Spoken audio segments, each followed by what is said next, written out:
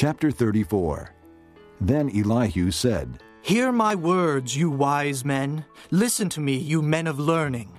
For the ear tests words as the tongue tastes food. Let us discern for ourselves what is right. Let us learn together what is good. Job says, I am innocent, but God denies me justice. Although I am right, I am considered a liar.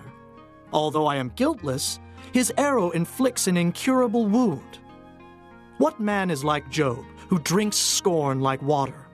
He keeps company with evildoers. He associates with wicked men, for he says, It profits a man nothing when he tries to please God. So listen to me, you men of understanding. Far be it from God to do evil, from the Almighty to do wrong.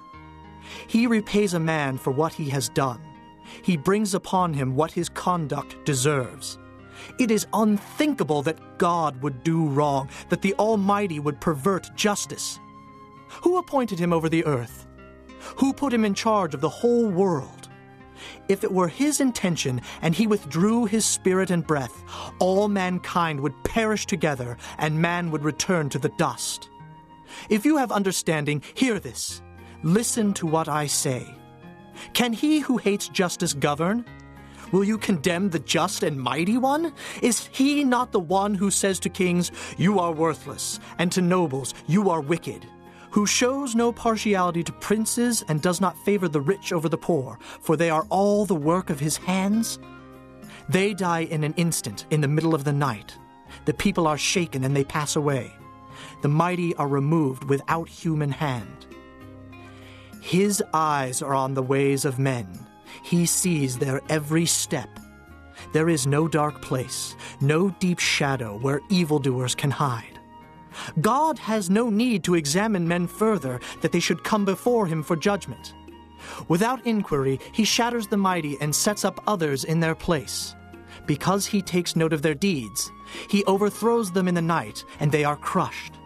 He punishes them for their wickedness, where everyone can see them, because they turned from following him and had no regard for any of his ways. They caused the cry of the poor to come before him, so that he heard the cry of the needy. But if he remains silent, who can condemn him? If he hides his face, who can see him? Yet he is over man and nation alike, to keep a godless man from ruling, from laying snares for the people. Suppose a man says to God, I am guilty but will offend no more. Teach me what I cannot see. If I have done wrong, I will not do so again.